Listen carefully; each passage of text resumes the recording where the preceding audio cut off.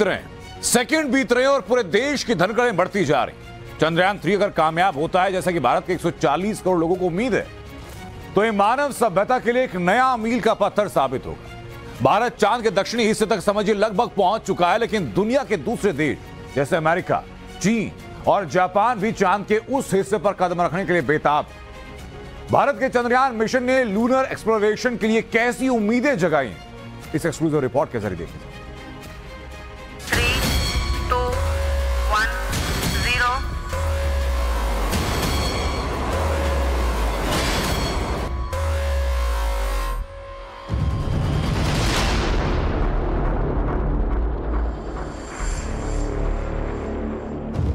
इसरो की ये इत्तला कि चंद्रयान तीन अपने तय मिशन पर है, उसी तरह सुकून दे रहा है, जिस तरह इंटरनेट युग से पहले की चिट्ठी की पहली लाइन सुकून देती थी, जिसमें लिखा होता था, मेरा हालचाल ठीक है।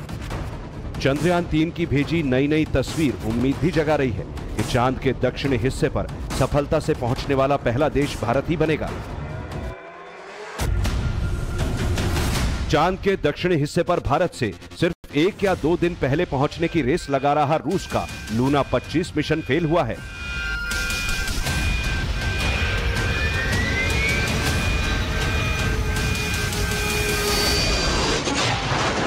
इसी के साथ भारत का चंद्रयान तीन, चाँद पर ज्ञान और विज्ञान की उस संभावना को सबसे पहले खोजने आगे बढ़ चला है, जिसकी आस रूस के अलावा अमेरिका, चीन, जापान जैसे ताकतवर और अमीर देशों को थी।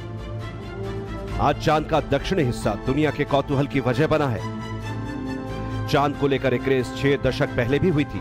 तब अमेरिका और रूस सिर्फ़ चाँद पर पहुँच जाना चाहते थे और जीवन की संभावना को खोज निकालना चाहते थे। लेकिन तब के लूनर मिशन से मिली जानकारियाँ दुनिया की दिलचस्पी नहीं जगा पाई। और फिर दुनिया के चाँद मिशन तब तक ठंडे बस्ते में चले गए, जब तक 2009 में इसरो और नासा ने नहीं बताया कि चाँद के दक्षिणी हिस्से पर अरबों वर्षों से जमे हुए पानी की संभावना है। 2019 में चाँद के दक्षिणी हिस्से पर लैंडिंग की भारत की कोशिश कामयाब नहीं हो सकी थी। लेकिन भारत ने न हौसला खोया, न भारत के सब्र ने जवाब दिया, न भारत के 140 करोड़ लोगों के संकल्प ने लूनर मिशन से कदम पीछे खींचने दिए। नतीजा है धीरे धीरे लक्ष्य पर पहुँचता हुआ भारत का चंद्रयान तीन मिशन। देखिए अगर जब कल सॉफ्ट लैंडिंग हो जाएगी, जो कि मुझे पूरा विश्वास है कि होगी। हम दुनिया के उन चार देशों में से एक हो जाएँगे, जिन्होंने मून पर सॉफ्ट लैंडिंग की इतने सारे देशों में सिर्फ़ चार ही देश हैं जो ये कर पाएँगे जब हम कल लैंड हो जाएँगे। चंद्रयान तीन चाँद के दक्षिणी हिस्से की खोज में अपने पीछे किस तरह के इतिहास को छोड़ जाएगा, इसकी आहट मिलने लगी है। उधर अमेरिका की तैयारी भी कम नहीं। अमेरिका 2025 तक चाँद के दक्षिणी हिस्से पर एस्ट्रोनॉट भेजने वाला है। ये चाँद पर किसी देश का पहला मानव मिशन होगा।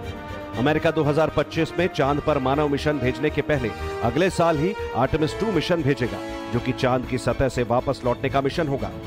चीन भी चाँद के दक्षिण हिस्से पर 2030 तक मानव या मानव रहित मिशन भेजने की तैयारी में है।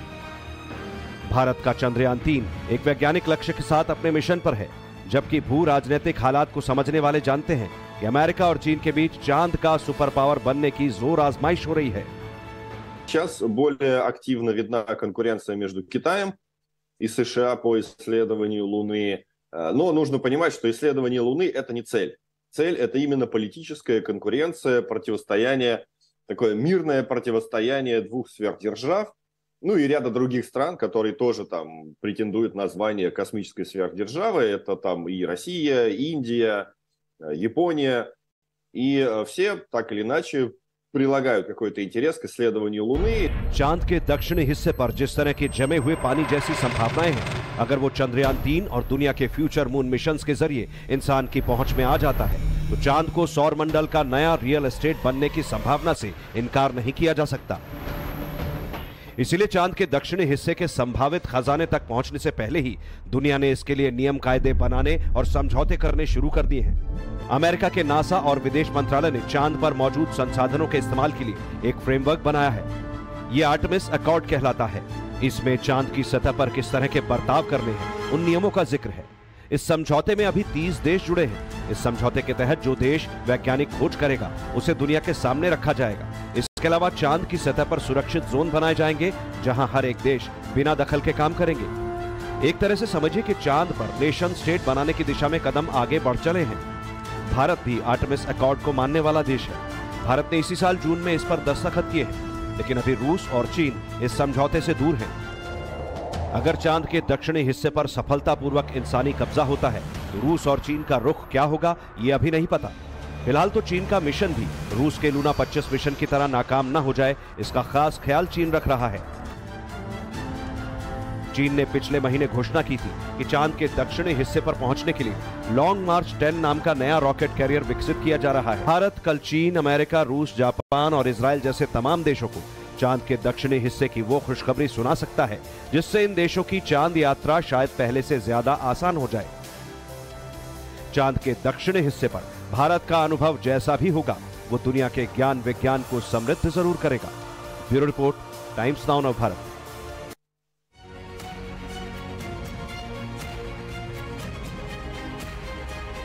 तो सवाल यह भी है कि पूरी दुनिया में चाँद के साउथ पोल पर पहुँचने की अचानक होड़ क्यों लग जाती? रूस जिसने 40 साल पहले मून मिशन किया, उसके बाद 40 साल तक एकदम शांत रहा। अचानक चंद्रयान से पहले अपने लूना 25 को भेजना क्यों चाहता अमेरिका, चीन, हर जगह स्पेस रिसर्च में फिर मून फाइल्स क्यों खोजी जा रही? ये आपके जहन में भी सवाल होगा कि आखिरकार चाँद के साउथ पोल पर ऐसा क्या? वहाँ तो कोई खजाना तो है, वहाँ कोई ना कोई। जो दुनिया को अगर छोड़ दें तो अंतरिक्ष में शायद कहीं और नहीं हो। तो कौन सा खजाना है जिसके एकदम पास इस वक्त चंद्रयान थ्री पहुँच चुका है? इस रिपोर्ट में दिखाते हैं।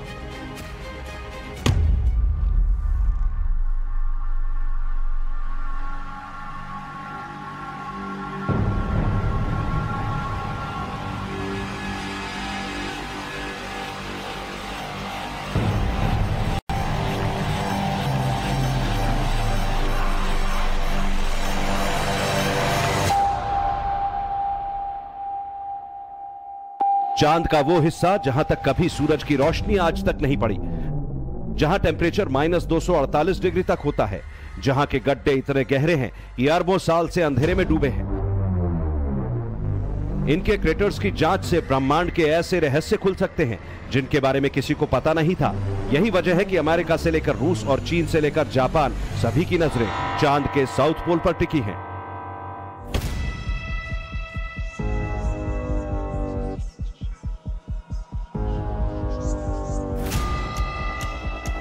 रूस का लूना 25 जिस मिशन में असफल रहा, भारत का चंद्रयान तीन, बस कुछ ही घंटों में उसे पूरा कर सकता है। साउथ पोल पर जाने की होड़ में चीन, जापान, अमेरिका सब लगे हैं। चीन ने कुछ साल पहले दक्षिण ध्रुव से कुछ दूरी पर लैंडर उतारा था।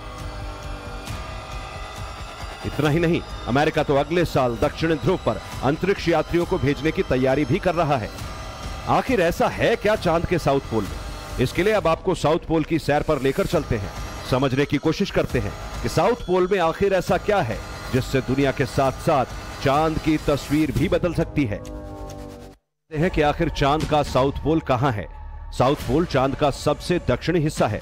पृथ्वी पर जिस तरह से दो पोल्स हैं, नॉर्थ और साउथ पोल, जिसे आर्कटिक और अंटार्कटिक भी कहा जाता है, उसी तरह से चाँद के सबसे दक्षिणी हिस्से को साउथ पोल और सबसे उत्तरी हिस्से को नॉर्थ पोल कहा जाता है। वहाँ पर पानी का होने का अंदेशा आइस के फॉर्म में और हीलियम थ्री के होने का अंदेशा है। तो प्रॉबिलिटी ऑफ़ एक्सप्लोरेशन में मून की इंफॉर्मेशन में शायद साउथ पोल में नॉर्थ पोल के वनस्पत ज़्यादा फ़ायदे थे, इसलिए था। जिस साउथ पोल के पास चंद्रयान तीन की लैंडिंग होनी है, वो चाँद का सबसे ठंडा इलाका माना जाता है। इतना ठंडा कि यहाँ न्यूनतम तापमान माइनस दो डिग्री तक जा सकता है। पर ऐसा क्यों? इस सवाल का जवाब भी आपको बहुत आसान भाषा में देते हैं। मान लीजिए सूर्य एक टॉर्च लाइट है, जिससे रोशनी निकलती है। सूर्य की रोशनी चाँद के बीच के इलाके में ज़्यादा पड़ती है। चाँद के दोनों पोल्स को कम रोशनी मिलती है। चाँद का जो हिस्सा सूरज की तरफ़ होता है, वहाँ चौदह दिन होते हैं और पिछले भाग में चौदह रातें होती हैं।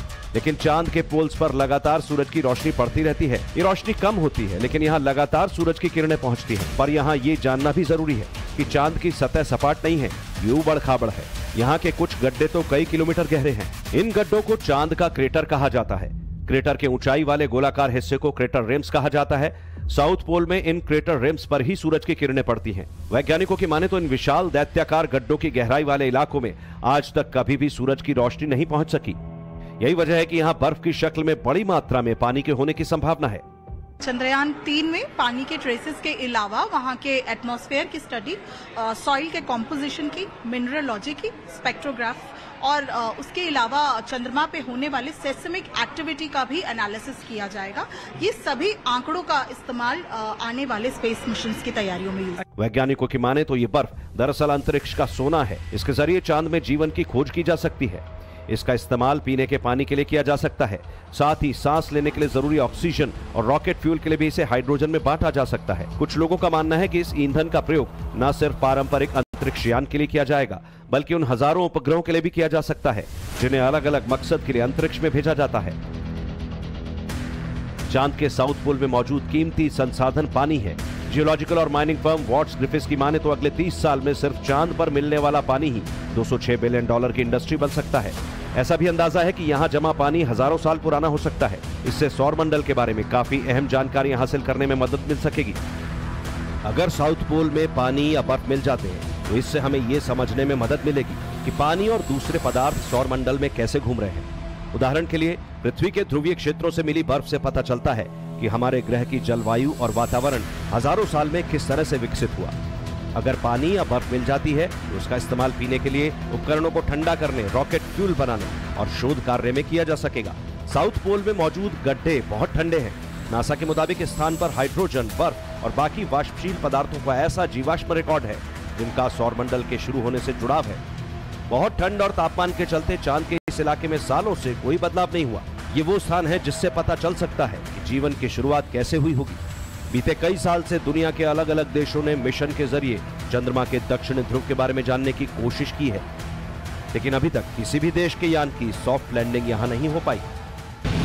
कुछ वैज्ञानिकों का मानना है कि चंद्रमा के दक्षिणी ध्रुव के नीचे पूरे सौर मंडल में बने सबसे बड़े गड्ढे मौजूद हैं। और इनके नीचे कोई विशाल चीज़ छिपी हुई है। वैज्ञानिकों को इसके बारे में जानकारी नहीं है कि इनके नीचे क्या चीज़ हो सकती है। अगर यहाँ तक पहुँचा जा सका तो दुनिया को बहुत बड़ी कामयाबी मिल सकती है। वो साइंस का हम कई संशोधन करने वाले वहाँ पानी की खोज का जो मोलिक्यूल हमने ऑलरेडी कर चुके हैं उससे आगे कई धातु है मैग्नीशियम सिलिकॉन वहाँ पे हीलियम थ्री करके ऊर्जा का एक बहुत बड़ा स्रोत है। तो इत, ये स्पेक्ट्रोमीटर है ये इसके साथ में फोटोग्राफ है कैमराज लगे हुए हैं तो और ये इतना चैलेंजिंग रहेगा। चाँद का साउथ पोल वो हिस्सा है जिसे अंतरिक्ष का खजाना भी कहा जाता है। चाँद पर मौजूद पहला खनिज है रेयर अर्थ मेटल जिसका चाँद पर बहुत बड़ा भंडार है। इसकी मदद से एनर्जी पैदा करने वाले सुपर कंडक्टर बनाए जा सकते हैं। सुपर कंडक्टर बिजली पैदा करने से बिजली का नुकसान बिल्कुल नहीं होता है। अभी बिजली पैदा करने से सप्लाई तक करीब 40 प्रतिशत वेस्ट हो जाती है। इसके अलावा रेयर अर्थ मेटल से न्यूक्लियर बैटरी और हाई टेम्परेचर बैटरी बनाई जा सकती है। अभी पृथ्वी पर सबसे ज़्यादा रेयर अर्थ चीन में मिलता है। इसीलिए चीन की दादागिरी चलती है। चाँद पर मौजूद दूसरा खनिज है टाइटेनियम। इससे दुनिया का सबसे मज़बूत लेकिन वज़न में हल्का मटेरियल बनाया जा सकता है। इससे हवाई जहाज़ और सबमरीन इंडस्ट्री में क्रांति आ सकती है। इसके अलावा टाइटेनियम से लंबी दूरी के रॉकेट बनाने में बहुत आसानी हो जाएगी। तीसरा है हीलियम। इसके फ्यूजन रिएक्टर में न्यूक्लियर एनर्जी बनाई जा सकती है। ये सबसे क्लीन एनर्जी है, जैसे कोयले से एनर्जी बनाने में बहुत प्रदूषण फैलता है, जबकि हीलियम से बिजली बनाने में प्रदूषण बहुत कम हो जाएगा। वैज्ञानिकों की जाँच में यह भी पता चला कि चाँद पर प्लेटिनम और पैलेडियम जैसे बेशकीमती मेटल्स भी मौजूद हैं। प्लेटिनम कीमती ज्वेलरी बनाने में काम आता है। इसके अलावा लेबोरेटरी उपकरणों और इलेक्ट्रोड्स में भी प्लेटिनम का इस्तेमाल होता है। एक ग्राम प्लेटिनम की कीमत लगभग पच्चीस सौ है। चाँद पर पैलेडियम धातु के होने के भी संकेत मिले हैं। पैलेडियम का इस्तेमाल वाहनों के एग्जॉस्ट में कैटलेटिक कन्वर्टर के रूप में होता है, जिससे प्रदूषण को नियंत्रित करने में मदद मिलती है। चाँद और धरती के इतिहास में समानता की वजह से ऐसा माना जाता है कि दोनों की बनावट भी मिलती जुलती है। जियो साइंटिस्ट को स्टडी में चंद्रमा की चट्टानों में सल्फ़र की मौजूदगी, उसकी गहराई में आयरन सल्फाइड की उपस्थिति का अहम संकेत मिला है। भारत का मून मिशन, अगर चाँद के इन खजानों को खोजने में कामयाब होता है तो इससे साबित हो जाएगा कि भारत बिना विदेशी सहयोग के हर मकाम हासिल करने में सक्षम है। इस मिशन के तहत चाँद के उस इलाके के बारे में जानने की कोशिशें की जाएँगी, जो अब तक रहस्य है। चंद्रमा पर दक्षिण ध्रुव एक ऐसा स्थान है, जो विज्ञान में रुचि रखने वालों के लिए हमेशा से रहस्य रहा है। दक्षिणी ध्रुव के सबसे नज़दीक अगर किसी देश ने अपना यान उतारा तो वो अमेरिका है। 10 जनवरी 1968 में अमेरिका ने सर्वेयर सेवन स्पेसक्राफ्ट को साउथ पोल के पास उतारा था। लेकिन ये जगह चंद्रयान तीन के लैंडिंग स्पॉट से काफ़ी दूर है। इसरो ने बताया कि दक्षिण ध्रुव के नज़दीक स्थित मैंजनिस यू क्रेटर के पास चंद्रयान को उतारा जाएगा। चंद्रयान तीन को कल शाम छह बजकर चार मिनट पर चंद्रमा के दक्षिणी ध्रुव पर लैंड कराया जाएगा। ये समय धरती पर शाम का होगा, लेकिन चाँद पर उस समय सूरज उग रहा होगा। इसरो के चीफ ने बताया, ये समय इसलिए चुना गया ताकि लैंडर को 14 से 15 दिन सूरज की रोशनी मिल सके। इससे लैंडर के ज़रिए सारे साइंटिफिक एक्सपेरिमेंट्स करने में आसानी होगी। तस्वीरें भी साफ़ आ सकेगी। इसरो ने विक्रम लैंडर और प्रज्ञान रोवर को इस तरह डिज़ाइन किया है कि वो सूरज की रोशनी से ऊर्जा लेकर चाँद पर एक दिन बिता सके। चंद्रमा का दक्षिण ध्रुव बेहद पथरीला है, इसीलिए यहाँ सॉफ्ट लैंडिंग सबसे बड़ी चुनौती है। यहाँ कई बड़े गड्ढे हैं सौर मंडल में मौजूद बड़े गड्ढों में से एक गड्ढा साउथ पोल में ही है। इसकी चौड़ाई ढाई हज़ार किलोमीटर और गहराई तेरह किलोमीटर है। ये चाँद का वो हिस्सा है जहाँ पर पानी के साथ ही साथ धूप भी है, मगर जितना यहाँ कहना आसान है, उतनी ही लैंडिंग मुश्किल भी है। चाँद के इस हिस्से का सिर्फ़ 18 फ़ीसदी भाग पृथ्वी से दिखता है। बाकी के बयासी फ़ीसदी हिस्से की फ़ोटो पहली बार सोवियत संघ के लूना थ्री ने उन्नीस में भेजी थी। लेकिन चौसठ साल बाद भारत नया इतिहास बनाने के लिए तैयार है। इंडिया एक टफ टारगेट को अचीव करने वाला है। चंद्रयान दो से सबक लेते हुए इसरो ने इस बार ऐसी तैयारी की है, जिसे पूरी दुनिया साक्षात देखेगी।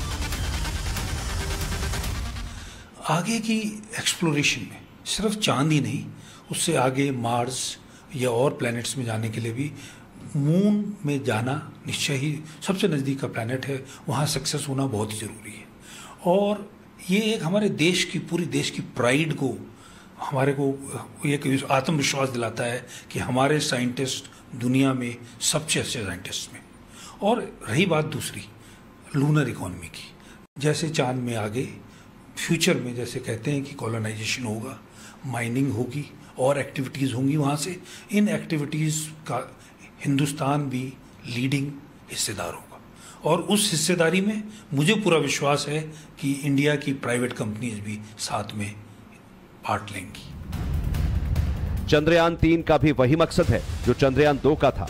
यानी चाँद के दक्षिणी ध्रुव पर सॉफ्ट लैंडिंग करना और इसे पूरा करने में सिर्फ़ चंद घंटे बचे हैं। जब भारत की मुट्ठी में चाँद होगा और इंडिया अंतरिक्ष के क्षेत्र में नया वर्ल्ड लीडर बनकर उभरेगा इस पल का इंतज़ार 140 करोड़ भारतीय ही नहीं, पूरी दुनिया कर रही है।